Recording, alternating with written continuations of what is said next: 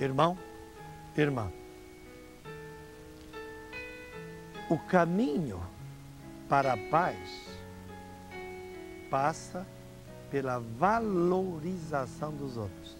Não vai haver paz se eu me valorizar demais e desvalorizar o outro. Isso é tão sério que há um versículo no Evangelho de Mateus, capítulo 5, e o versículo é 23, no qual Jesus diz assim: Se você estiver para fazer uma oferta diante do altar, portanto, louvar a Deus, oferecendo seus bens. E se lembrar que o outro, seu irmão, está sem paz por sua causa, ou nem que não seja por sua causa. Deixa a oferta ali. Dê meia volta e vá fazer a paz com seu irmão. Depois você venha e faça o seu louvor. O que é que Jesus quer dizer com isso? Catequese do outro. O grande outro que é Deus vai aceitar minha oferta se eu quiser.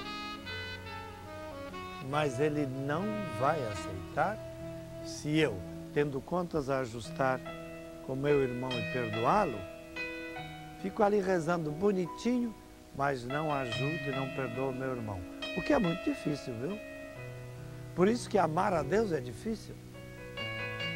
Porque amar a Deus de verdade supõe incluir o outro na minha vida, perdoar aquele filho, aquele irmão, aquele pai, aquela mãe, aquela pessoa que tentou me destruir, é não guardar mágoa, mesmo que eu não possa ajudar, mesmo que eu esteja ferido. Pode ou não?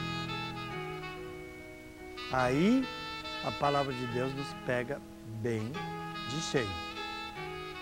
Se não houver espaço para o outro, meu irmão, por pior que ele seja, e se eu não for capaz de perdoá-lo, mesmo que eu não saiba conviver mais com ele, porque ele me ofendeu demais e se ele puder vai ofender de novo, mas ao menos eu perdoo.